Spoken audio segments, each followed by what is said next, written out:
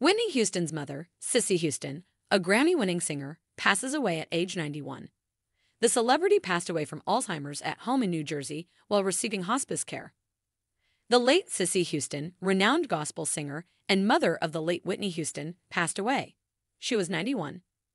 Houston, who was receiving hospice care for Alzheimer's disease, passed away at her New Jersey home on Monday, October 7, according to her daughter in law, Pat Houston. We feel sadness and pain in our hearts. We have lost our family matriarch, Pat said in a statement. Mother Cissy has always been a powerful and formidable presence in our lives. A woman of deep faith and conviction who cared greatly about family, ministry, and community. Her more than seven decade career in entertainment and music will always hold a special place in our hearts. Pat went on, she has made incalculable contributions to popular music and culture. We consider ourselves fortunate and appreciative that God gave her so many years to be with us, and we are appreciative of all the priceless lessons she taught us about life. Together with her daughter Whitney, granddaughter Bobbi Kristina, and other loved ones, may she rest in peace. Additionally, Houston was the aunt of singers Dee Dee and Dionne Warwick. In 1938, Houston started her singing career when she joined the Drinkard Four, a group consisting of her sister Ann, two brothers, Larry and Nicky. She and her niece, Dee Dee Warwick, formed a group called the Sweet Inspirations in 1963. In a matter of years, the group was backing vocalists for musicians such as Wilson Pickett, Otis Redding, and Dusty Springfield. Later, in 1967, they collaborated with the Jimi Hendrix Experience, and in 1969 with Elvis Presley. The first solo record Houston released as a solo artist was titled This Is My Vow in 1963. However, her name was spelled Sissy Houston on her earlier recordings. Her 1970 solo debut album, presenting Cissy Houston, featured hits like Be My Baby and I'll Be There. She provided backup vocals for Bette Midler's debut album in 1972. During her career, Houston received two Grammy Awards one in 1996 for Face to Face, the best traditional soul gospel album, and another in 1998 for the album He Leadeth Me. Warwick told PEOPLE in February that Cissy had an incredible voice and that transferred to her little baby, Whitney.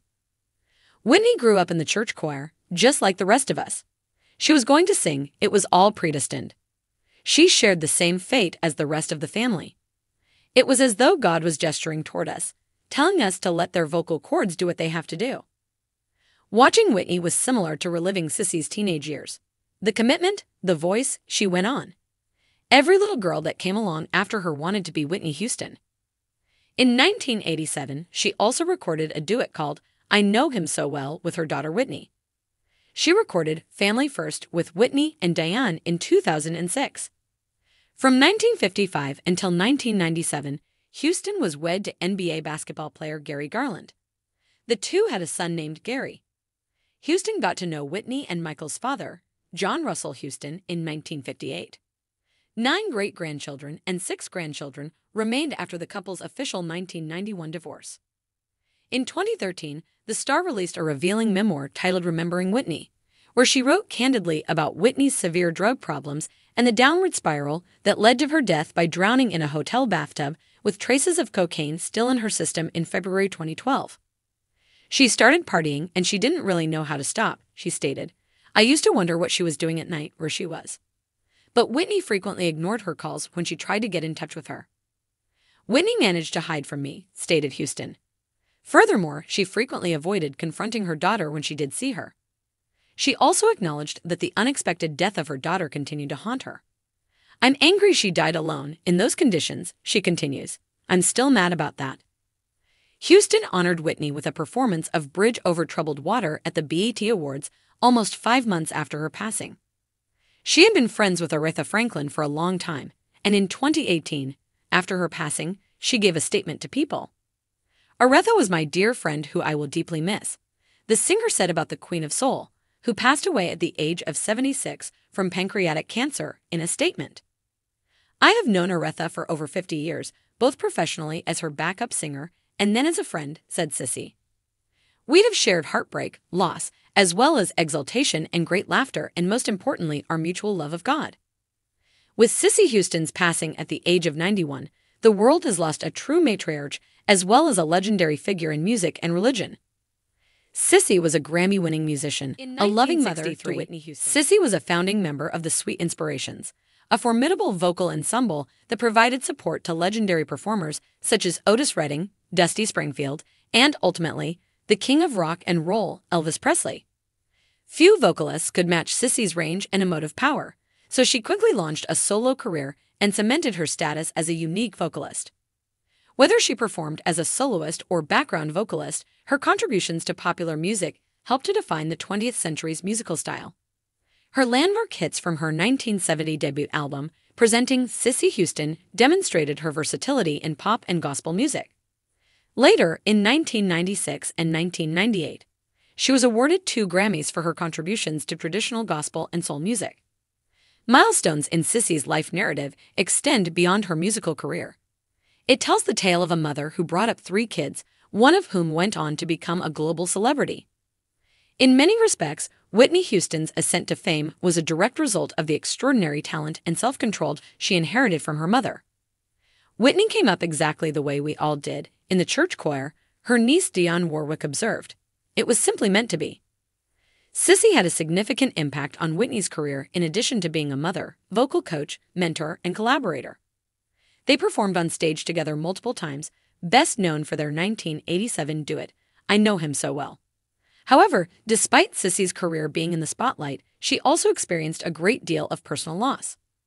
Her spirit was greatly affected by the sudden death of her granddaughter, Bobbi Kristina Brown, and the tragic loss of her daughter, Whitney, in 2012. In her 2013 memoir, Remembering Whitney, Cissy opened up about her personal struggles. She described the anguish of seeing her daughter struggle with addiction and the disappointment that she was unable to save her. She wrote, I'm angry she died alone, in those conditions, echoing the grief that millions of fans worldwide have experienced.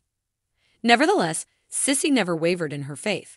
Her close relationship with God, which she cultivated throughout her life and instilled in her children, was the source of her strength.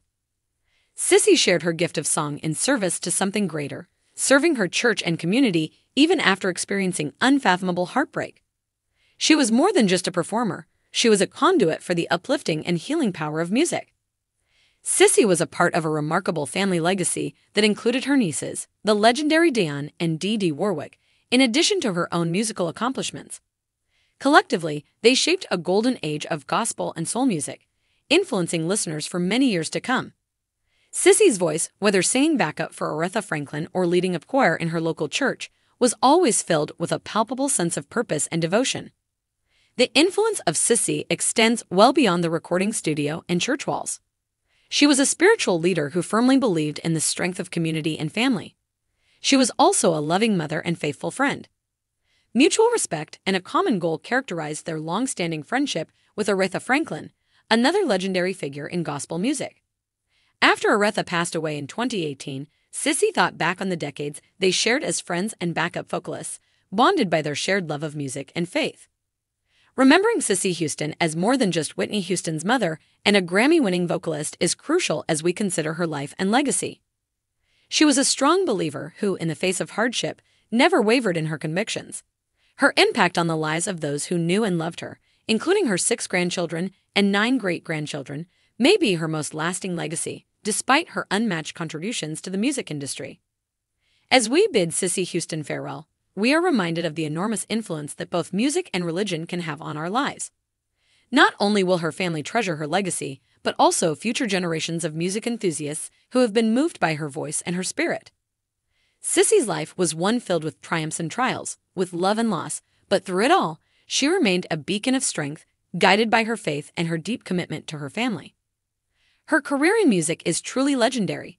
Starting from modest beginnings in Newark, she has shared stages with some of the biggest names in entertainment.